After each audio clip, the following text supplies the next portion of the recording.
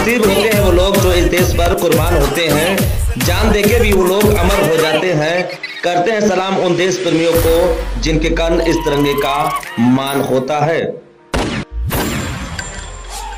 राजकुमार वर्मा, समाज सेवी की तरफ़ से समस्त देशवासियों व क्षेत्रवासियों को स्वतंत्र दिवस की हार्दिक शुभकामनाएँ।